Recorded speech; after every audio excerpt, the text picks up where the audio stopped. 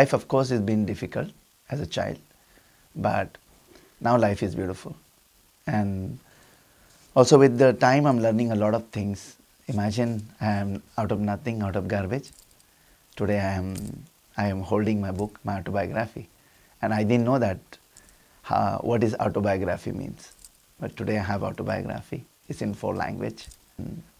Three months knocking all the doors is not easy because I'm self-publisher, Um, and it's been quite, quite really nice. I mean, we have really many doors open for us.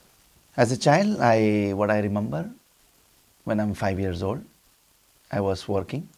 Well, I was working. I should be not working, and no child should be working anywhere in the world. But in India, in Africa, in China, in Bangladesh, children really work, and this is not fair. I used to work for 10 hours to 8 hours for 2 cents, and that 2 cents used to feed my family. Imagine I'm only 5 years old and I used to work. So it's not been easy. So one day I was playing uh, with the glass. I used to work in a tea shop on the street of Bombay, and I was playing with the glass and the tea, and I broke all the glasses, all the tea floor, and I begin to run. I run, run, run, arrive to the railway station of Bombay. I begin to live in the railway station not one day, not two days, for three years. And that three years been not easy life. Imagine in that three years there is nothing left what I have not done. I beg, I rob, I did boot polish, I sing in the train. I'm a very bad singer, but I sing in the train to make money. I sell. And the hard part is the sexual abuse. Anybody could come and rape. Anybody could come and do whatever they want to do. Or they push uh, to drug addict. They used to push me drug. So it's not easy for the any street child. Not only me. 80% children suffer in the street. And it's sad. It's hard. There's one angel, Sister Seraphine. She appeared like angel for my life. And she used to work in an orphanage called Sneha Sadan. It's run by Jesuit in Bombay. My orphanage run by Jesuit for 50 years.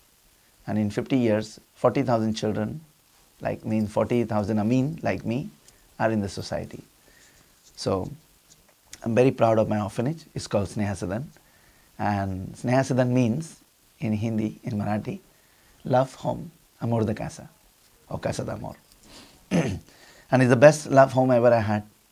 And I have been in Sneha Sadan for 10 years, me and my sister. We have been in Sneha Sadan for 10 years. And that 10 years, one of the most beautiful of part of my life of childhood is as I was improving, my dream was getting bigger and bigger. And you know, and people in, in life, everybody has a dream. But my dream, I used to put, when I imagine something, when I want to do something, I put my dreams on the wall, on the board. The dreams, what I have to do, the dreams, what I have done. So it make me realize the balance. If I can come so far, if I can do so many dreams I have done already, I think this dream also I can reach to it. So it some way make me positive, some way make me believe, you know, and in some way make me strong, continue what I'm doing and walk to that until the end. So I believe in the dream and belief is one thing and if you don't act to it, dreams doesn't come in reality. Bombay to Barcelona Biblioteca Cafe. So that's my dream. What I want to do is and build this dream in Bombay, not in Barcelona. And this coffee shop will be run by the street children like me. The children who are damaged here and here, who are psychologically, mentally not strong enough, who are not very well in education, but maybe they are good making bread, maybe good making um, some of the girl are fashion designer and some of them are good in the carpentry, some of them good in the driving, some of them good in the welding. So all these children, what I'm combining, like example, when you come to this coffee shop where you have the Wi-Fi free, you can take the book, sit down, read the book, and you have a social network board where you can see what what we have from our orphanage children, what talent they have, whatever you need. Oh, they have electrician. So they can contact the professional boy for 20 years, for 10 years, life has changing. And of course, you see not that much children as used, as used to see before. Now you see less. But also, it's a matter of the what happening. There are a lot of ONG, NGO. So it's a kind of like now competition. Everybody want to be like, if you look at the life now, today life is a competition. Everything is competition. So NGO also become like a competition. You know, I'm the best, I'm the best, I'm the best. And in this sense, people forgot to do the best.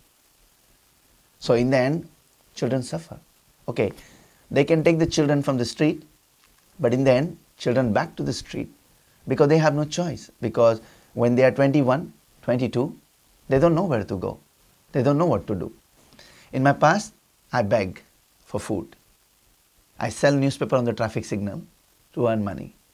Today I'm doing exactly the same. I'm begging to people for my dream to build in reality.